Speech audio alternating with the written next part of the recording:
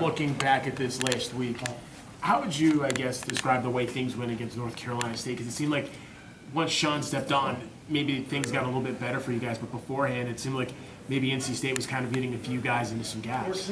Um, pretty much, it's, it's, it's like, you know, we kind of started off slow offensive line wise. I wouldn't say it was really the quarterback. It's kind of like us guys kind of started off slow, but once we started picking it up, and uh, when Sean got in, it wasn't really that because Sean got in, we started picking it up. It was pretty much like once we got our stuff together, start focusing in more, locking in more, taking coaching.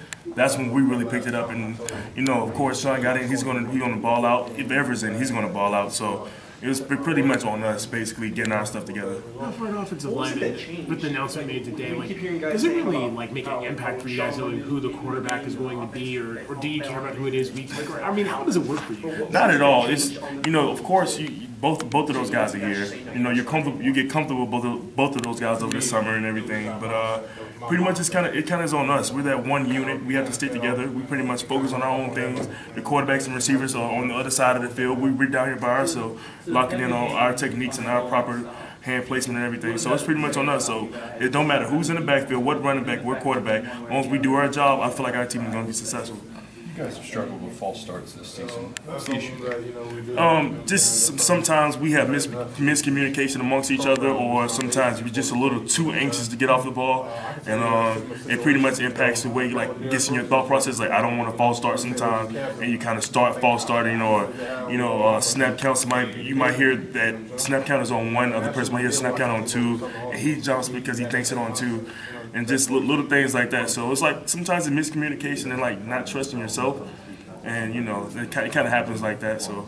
How's Coach Trickett addressed that, you know, during practice? he, he, like you know, of course, any offensive line coach is going to hate that his offensive linemen are jumping offside. So he pretty much tells us like, if you put more weight on your hand, and you focus in, lock in, you, know you know your assignment, you know what you're doing, you're not going to false start. You know, and that's, that's pretty much the bottom line. If you know what you're doing, you trust yourself, trust your technique, you're, it's not going to happen. So that's something we have to fix amongst each other. How do you kind of get out your own line though when, when he starts, you know, when these, all these penalties do pile up? It- It's, it's pretty much it's being comfortable going into the game. Like if I watch enough film, if I if, if I know what's going to happen on the field, if I know the plays, I know what I, what I got to do to make that play happen. I'm not gonna I'm not gonna think about anything else. My mind's gonna be clear, so I don't have to worry about oh I don't know what I'm doing. I hope I don't false start too. You know, it's, it's kind of like if I'm more comfortable, if I know what I'm doing. I, I, I would never false start. So sometimes, you know, you get you lose that trust within yourself, and sometimes you go out there and you ball out and Dalvin runs for a million yards. So whatever situation What's it been like for the line this year to kind of go through just personnel changes, injuries, the false starts, but yet here you are at this point in the year. What's it been like to kind of deal with all that? Um, you know, like, like I said, it's, it's not an excuse, but it's the truth. You know, we are young offensive linemen. We are we we uh we do trust each other. We hung out with each other all, all, all this summer and everything. We trust each other and everything. So it's just like a building process. You know, we we lost a bunch of guys who we used to look up to, we used to depend on, and like help us with plays, help us with technique and everything.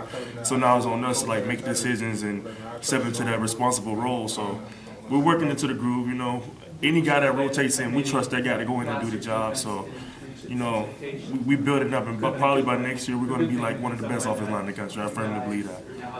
In your opinion, what's been the best game or stretch for you guys as an offensive line unit this year? You know, um, pretty much, I want to say after the Georgia Tech game, that's when we really picked it up. And I know, of course, we lost the Clemson game, but to me, I feel like we played a very stout game at Clemson. You know, we gave those those guys a run for their money. They was on the rope, so you know, we're, we're- getting better each game. We're learning how to like play play in the actual college game instead of like being used to being at practice and going home like we did last year. So we get into the groove, and like I- like I said, I firmly believe next year we're going to be one of the best offensive line in the country. Those losses to Georgia Tech and Clemson, how much has that done, you know, for you guys to grow and, and, and kind of learn, you know, hard lessons that you guys could use for next season?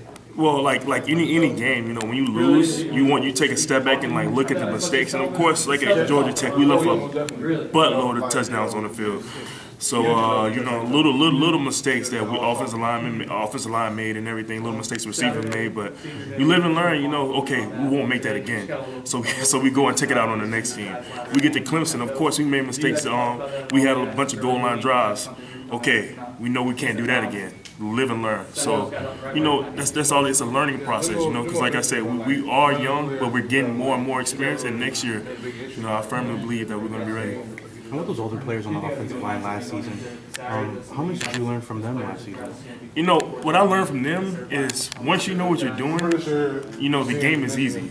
You know, because we, we're physically able to go out on the field and dominate.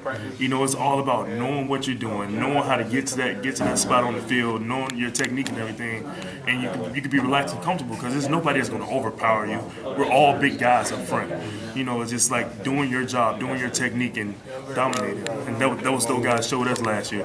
They were very comfortable. They knew what they were doing, and they dominated. So I feel, and I feel like we can almost be better than them. Thank you so much.